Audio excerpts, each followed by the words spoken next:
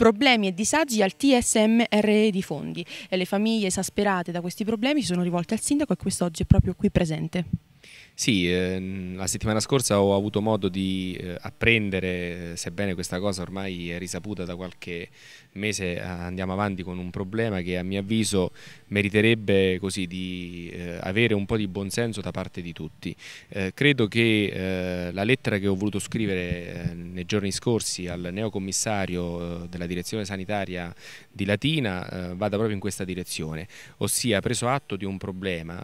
bisogna vedere in che modo trovare una soluzione soluzione. Ci troviamo di fronte ad un centro che eh, vede decine e decine di utenti che hanno già dei problemi di disabilità molto grave e credo che non possa essere un cancello eh, tenuto chiuso o semichiuso che possa rappresentare l'ostacolo affinché questo servizio porti a svolgimento quello che è la sua finalità. Eh, le famiglie lamentano che questo cancello non è aperto soprattutto nei momenti in cui c'è la pioggia e il maltempo, di conseguenza sono costretti a fare un percorso a piedi con notevoli disagi. È altrettanto vero che la direzione sanitaria ha, risposto che ci sono dei motivi di sicurezza e sono eh, stato io proprio a rilevare di persona che in effetti c'è un'area non delimitata che potrebbe rappresentare un pericolo. Ciò nonostante sono convinto che eh, bisogna trovare una soluzione. Io come comune ho rappresentato anche la disponibilità del comune a eh, individuare una soluzione pratica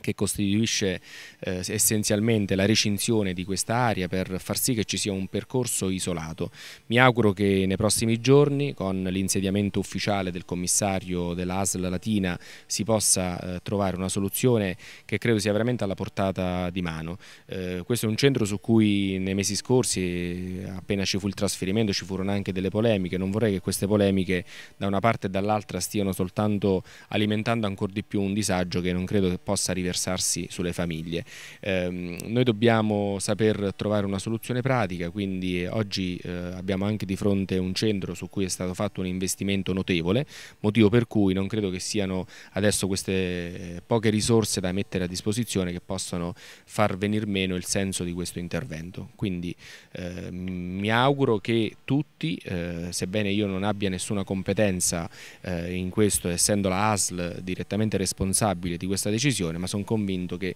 il mio appello possa servire a far capire innanzitutto ai genitori di avere un attimo di pazienza perché si possano trovare quelle soluzioni che mettano in sicurezza un percorso che va anche nella direzione di mettere in sicurezza i loro figli e loro stessi.